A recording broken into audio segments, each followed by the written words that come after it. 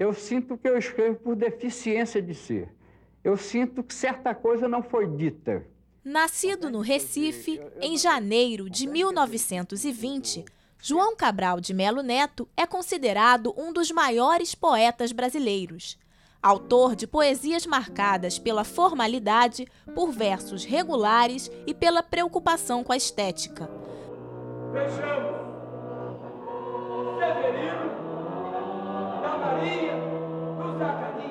Morte e Vida Severina, que narra a caminhada de um retirante do sertão até o Recife, é a sua obra mais popular.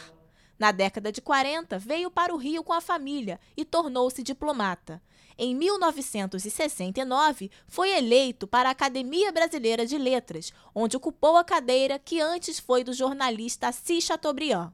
Uma parte do acervo do poeta João Cabral de Melo Neto, incluindo cartas que ele recebeu dos amigos Manuel Bandeira, Carlos Drummond de Andrade e Vinícius de Moraes, será leiloada registros históricos que mostram a relação dos principais ícones da literatura brasileira nas décadas de 40, 50 e 60.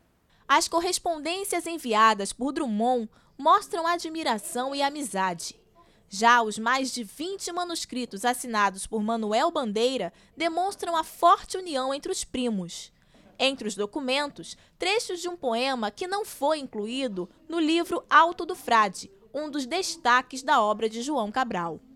No material enviado por Vinícius de Moraes está um poema que muitos acreditam ser inédito.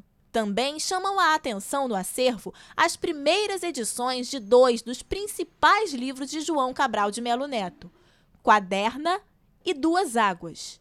Com o leilão, alguns pesquisadores temem que parte da obra do poeta se perca. O pesquisador agora não terá essa obra reunida, essa coleção reunida em um mesmo local. A família espera que a obra de João de Melo Neto seja arrematada por colecionadores que possam cuidar melhor do acervo. Chegou à conclusão que a melhor coisa a fazer era não separar é, a, as cartas do mesmo poeta dirigido ao, ao João Cabral de Melo Neto. Por quê?